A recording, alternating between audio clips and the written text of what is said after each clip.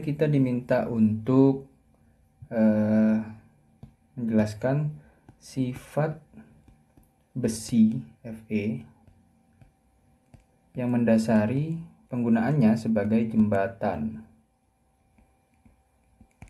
Oke. Besi sendiri adalah unsur kimia dengan nomor atom 26. Nomor atomnya 26 dan terdapat di bumi sebanyak kira-kira 4,7% kandungan bumi adalah besi.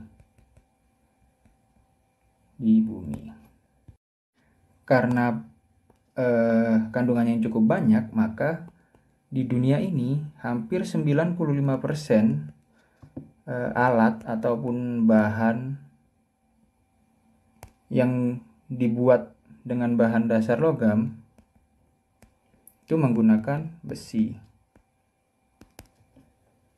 Beberapa alasan lagi kenapa besi dijadikan jembatan yaitu eh, pengolahan besi relatif mudah. Pengolahannya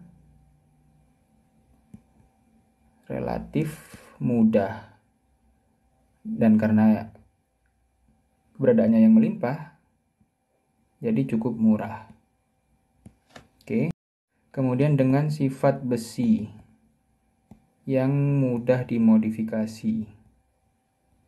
Mudah dimodifikasi. Untuk mungkin menjadi baja.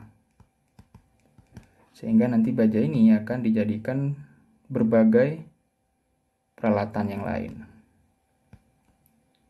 Peralatan termasuk sebagai bahan pembuatan jembatan.